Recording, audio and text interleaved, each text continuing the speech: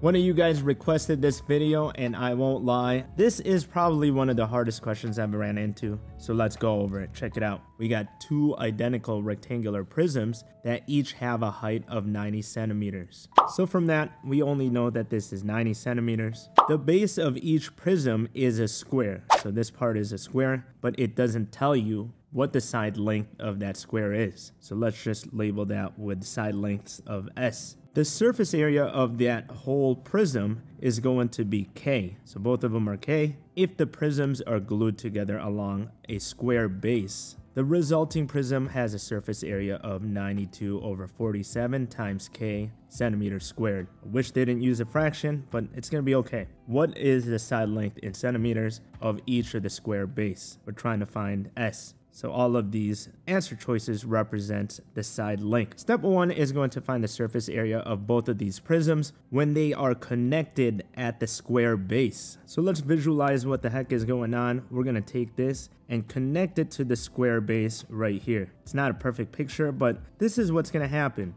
This part right here and the bottom of the square of this prism is no longer going to be exposed. And that is an important part to this problem. So what does that mean? That means the total surface area of this new shaped stack together is going to be 2k, but we are not exposing those two squares so we gotta subtract 2s squared, and that represents the two squares that are not exposed once again. That is going to equal 92 over 47k from what this says. From here, we got to solve for k. So let's bring this s term on the right side and bring the k term so it combines with that one. These are going to cancel out right here. And now we're left with 2k minus 92 over 47k. These cancel out right here equals 2s squared. These terms in purple we can combine like terms and if you don't have a calculator, you could just multiply this part right here by 47 over 47 to get like denominators, which will then give you 94k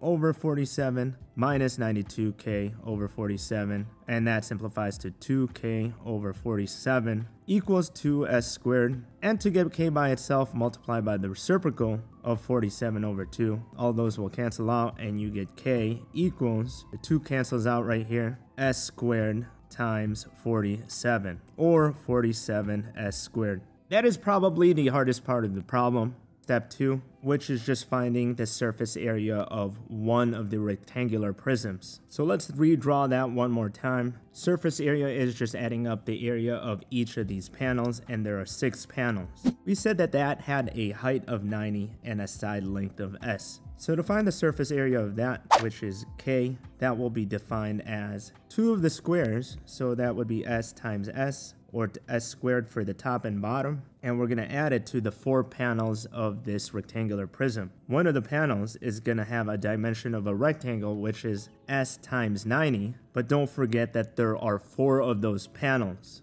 two in the front and two in the back. So we're gonna have to multiply that by four. Simplifying some stuff, that's gonna be 2s squared plus 360s equals k. So once I have this, we can move on to the last step, which is to solve for s. And we could solve for s by using substitution. In step one, we found k in terms of s, and we could use that to substitute it for this value of k in step 2. That's going to be 47s squared to replace k, and that's going to equal 2s squared plus 360s. From here, it's just a simple factoring problem where you subtract 2s squared, and we might as well subtract 360s to equal that to 0. Solve for s by factoring s out, and we're left with 45s minus 360 equals 0. So that means that s could equal 0, which cannot be one of the answer choices because you can't have a length of 0 or we can take this expression and set that equal to 0 and solve it. And that will get me s, which equals 8. Honestly, if you could solve that in under a minute, you are a straight up beast. If you got a faster way to solve this, please let us know in the chat. Hopefully this was a good review for you. If it was, don't forget to like and subscribe and I'll see you on the next episode.